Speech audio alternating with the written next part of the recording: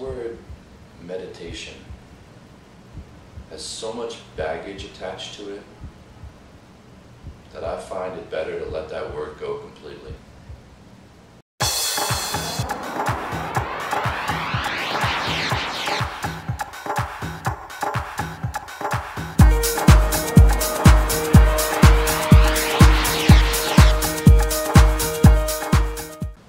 Many of us want to meditate.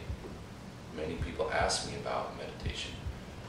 But this word carries so much possible interpretive, symbolic meaning with images of people sitting on mountaintops or in caves or in ashrams that it's actually not helpful because it intimidates us and stops us from doing what it is that meditation is.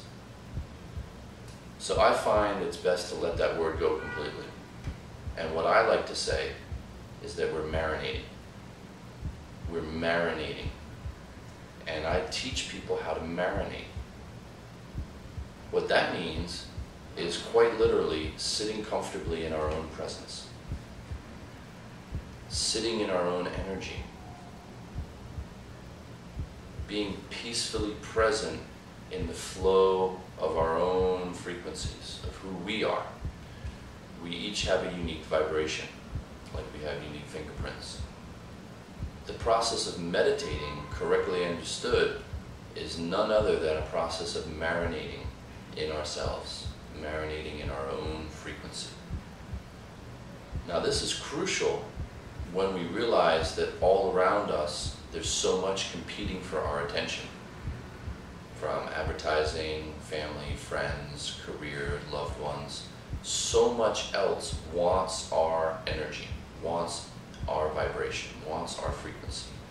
So that it can be almost impossible to be truly tuned into who we really are, to truly be in tune with our own vibration, like a tuning fork, tuned to our perfect pitch.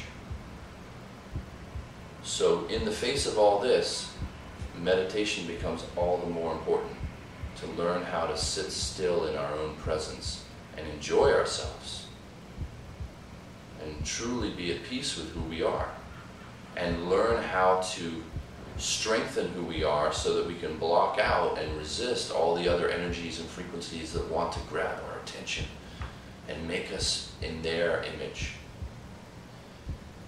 What I do is I teach you some very simple techniques to marinate, to be comfortable with yourself. And it's a process, and I'll show you how to do it, but it's very easy. Anyone can do it.